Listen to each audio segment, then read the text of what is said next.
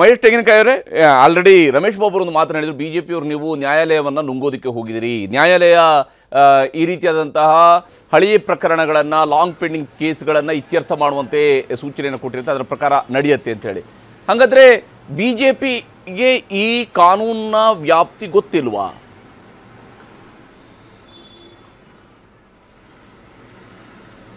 ನೋಡಿ ಹರಿಪ್ರಕಾಶ್ ಅವರೇ, ರಮೇಶ್ ಬಾಬು ಅವರು ಕಾನೂನಿನ ಬಗ್ಗೆ ಬಹಳ ಹೆಚ್ಚಿಗೆ ತಿಳುವಳಿಕೆ ಉಳಿತಕ್ಕಂಥವ್ರು ಅದಾರ.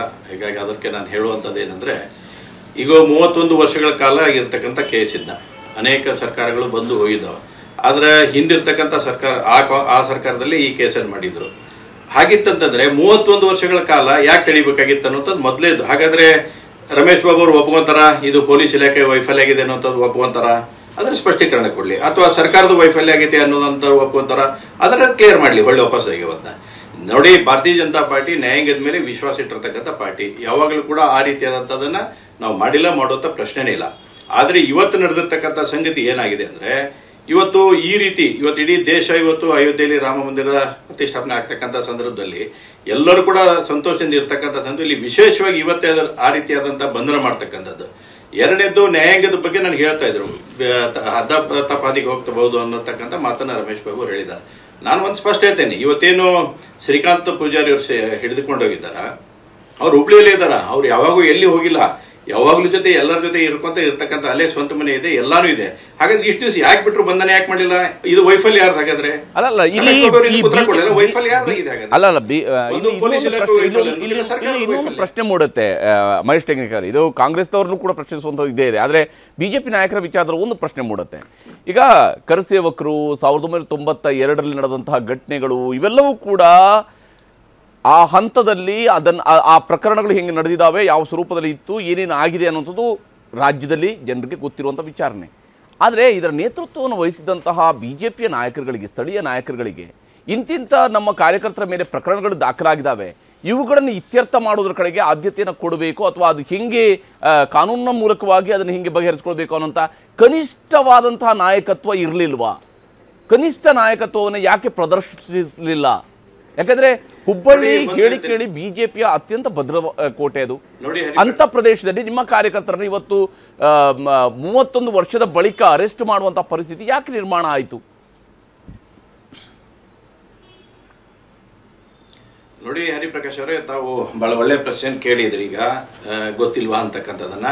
ಹಿಂದೆ ಅನೇಕ ಜನರ ಮೇಲೆ ಹುಬ್ಳಿಯಲ್ಲಿ ಇರ್ತಕ್ಕಂಥ ಅನೇಕ ಕಾರ್ಯಕರ್ತರ ಮೇಲೆ ಅವತ್ತಿನ ದಿನಗಳಲ್ಲಿ ಸ್ಟೇಷನ್ ಅಲ್ಲಿ ಮೊಕದ್ದಮೆಯನ್ನು ದಾಖಲೆ ಮಾಡಿತ್ತು. ಅನೇಕ ಮೊಕದ್ದಮೆಗಳು ಬಂದಂತ ಸಂದರ್ಭದಲ್ಲಿ ಕೋರ್ಟ್ನಲ್ಲಿ ಹಾಜರಾಗಿ ಅವನು ಇತ್ಯರ್ಥಪಡಿಸತಕ್ಕಂಥ ಸಾಕಷ್ಟು ಕೇಸುಗಳು ಇತ್ಯರ್ಥನೂ ಪಡಿಸಿದ್ದೇವೆ ನಾವೀಗ.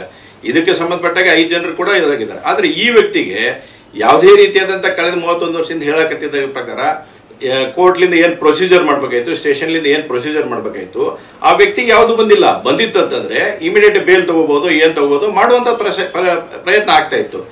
ಒಂದ್ ಕಡೆ. ಇನ್ನೊಂದು ಕಡೆ ನಾನು ಹರಿಪ್ರಕಾಶ್ ಅವರು ತಮ್ಮ ಮುಖಾಂತರ ರಮೇಶ್ ಬಾಬು ಕೇಳಕ್ಕೆ ಇಚ್ಛೆ ಪಡ್ತೇನೆ. ತಾವು ಹೇಳಿದ್ರಿ ಬಿಜೆಪಿಯವರು ನ್ಯಾಯಾಂಗದ ಬಗ್ಗೆ ಈ ಥರ ಅನ್ನುವಂಥ ವ್ಯಕ್ತಿನ ಹಾಗಾದರೆ ತಮ್ಮದೇ ಆಗಿರ್ತಕ್ಕಂಥ ಉಪಮುಖ್ಯಮಂತ್ರಿಗಳಾಗಿರ್ತಕ್ಕಂಥ ಶ್ರೀ ಡಿ ಕೆ ಶಿವಕುಮಾರ್ ಅವರು ಹುಬ್ಳಿ ಗಲಭೆ ಏನಾಗಿತ್ತು? ಕಳೆದ ಎರಡು ಮೂರು ವರ್ಷದಿಂದ ನಡೆದಿರ್ತಕ್ಕಂಥ ಒಂದು ಬಹುದೊಡ್ಡದಾದಂಥ ಗಲಭೆ.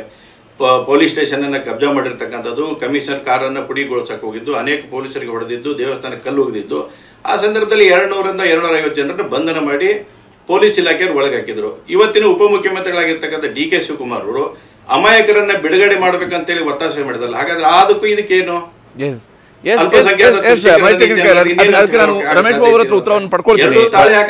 ಮಹೇಶ್ ತೆಂಗಿನಕಾಯಿ ಅದಕ್ಕೆ ನಾನು ರಮೇಶ್ ಬಾಬು ಹತ್ರ ಉತ್ತರವನ್ನು ಪಡ್ಕೊಳ್ತೀನಿ. ಆದರೆ ಅದಕ್ಕೆ ಮುಂಚಿತವಾಗಿ ಮಂಜುನಾಥ್ ಇಲ್ಲಿ ಈಗ ನಿಮ್ಮ ತಂದೆಯವರಿಗೆ ಈ ಒಂದು ಪ್ರಕರಣಕ್ಕೆ ಸಂಬಂಧಪಟ್ಟಂತೆ ಈಗ ಕೋರ್ಟ್ಗೆ ಹೋದಾಗ ಹೇಳಿದ್ರು ಅಂತ ಹೇಳಿದ್ರಿ ನೀವು ಆಗ್ಲೇನೆ ಈಗ ಇದೇ ಪ್ರಕರಣದಲ್ಲಿ ಇನ್ನೊಂದು ಐದು ಜನ ಆಲ್ರೆಡಿ ಈ ಕೇಸಲ್ಲಿ ಇತ್ಯರ್ಥ ಆಗು ಹೋಗಿದೆ ಅನ್ನೋಂಥ ಅಂಶವೂ ಕೂಡ ಇದೆ. ಇನ್ನು ಕೆಲವರು ಬೇಲ್ ತಗೊಂಡಿರುವಂಥದ್ದು ಕೂಡ ಇದೆ. ಆದರೆ ನಿಮ್ಮ ತಂದೆಯವರು ಯಾಕೆ ಇದರಲ್ಲಿ ಬೇಲ್ ತೆಗೆದುಕೊಳ್ಳುವಂತಹ ಪ್ರಯತ್ನವನ್ನು ಜಾಮೀನನ್ನು ಪಡ್ಕೊಳ್ಳುವಂತಹ ಪ್ರಯತ್ನವನ್ನು ಮಾಡಲಿಲ್ಲ? ಅಥವಾ ಈ ಕೇಸನ್ನು ಕೇಸ್ ಬಗ್ಗೆ ಎಷ್ಟರ ಮಟ್ಟಿಗೆ ಅವರಿಗೆ ಮಾಹಿತಿ ಇತ್ತು ಅಂತ ಹೇಳಿ ಮಂಜುನಾಥ್?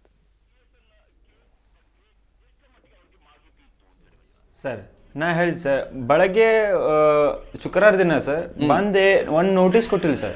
ಒಂದ್ ನೋಟಿಸ್ ಇಲ್ಲ ಒಂದ್ ಮೆಸೇಜ್ ಇಲ್ಲ. ಒಂದ್ ಪೊಲೀಸರು ಬಂದು ಭೇಟಿಯಾಗಿಲ್ಲ ಬಂದ್ರಿ ಸರ್ ಕರ್ಕೊಂಡ ಶುಕ್ರ ದಿನ ಹತ್ತು ಹತ್ತುವರೆಗೆ ಸರ್ ಅಲ್ಲ ಅದಕ್ಕಿಂತ ಹಿಂದೆ ಒಂದ್ಸರ್ತಿ ಬೇಲ್ಗೆ ಅಪ್ಲೈ ಮೂವ್ ಮಾಡಿದ್ರ? ಏನು ವೆಕೇಶನ್ ಬೆಂಚಲ್ಲಿ ಮೂವ್ ಮಾಡಿದ್ರ? ಬೇಲ್ ಟ್ರೈ ಮಾಡಿರೋದು ಹೌದಾ ಅದು? ಜಾಮೀನ್ ಟ್ರೈ ಮಾಡಿರೋದು ಹೌದಾ ಅದು? ಮೂವತ್ತೊಂದು ವರ್ಷನೇ ನಮ್ ಮೂವತ್ತೊಂದು ವರ್ಷದಿಂದ ನಮ್ಮಪ್ಪರ ದೊಡ್ಡಪ್ಪರ ಹೇಳ್ತಿದ್ದಾರೆ. ಅವಾಗ ಎಲ್ಲ ಮುಗಿಸಿದೇವೆ ನಾವು ಮತ್ತೆ ರೀ ಕ್ಲೋಸ್ ಮಾಡಿದೆವು ಅಂತ ನಮ್ಮ ದೊಡ್ಡಪ್ಪರ ಹೇಳಿದ್ದಾರೆ ಸರ್ ನನಗೆ ಓಕೆ. ಅಂದರೆ ನಿಮಗೆ ಅದ್ರ ಬಗ್ಗೆ ಏನೂ ಕ್ಲಾರಿಟಿ ಇರಲಿಲ್ಲ?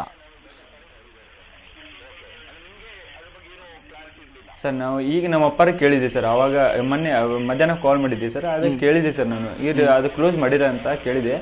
ಆ ಕ್ಲೋಸ್ ಮಾಡಿರ ನಾವು ಅಂತ ಮತ್ತೆ ರೀ ಇದು ಮಾಡ್ಯಾರ ಇದು ಅಂತ ಹೇಳಿದ್ದಾರೆ ಸರ್ ನಮಗೆ. ಓಕೆ ಓಕೆ ಮಂಜುನಾಥ್ ಮಾತಾಡ್ತೀನಿ ನಾನು ನಿಮ್ಮ ಜೊತೆಗೆ? ಚರ್ಚೆ ನಾವು ಮುಂದುವರಿಸೋಣ. ಶ್ಯಾಮ್ ಸುಂದರ್ ಅವರು ಕೂಡ ನಮ್ಮ ಜೊತೆಗೆ ಜಾಯ್ನ್ ಆಗಿದ್ದಾರೆ. ಹಿರಿಯ ವಕೀಲರು, ಅವ್ರ ಜೊತೆ ಕೂಡ ನಾನು ಮಾತನಾಡ್ತೀನಿ.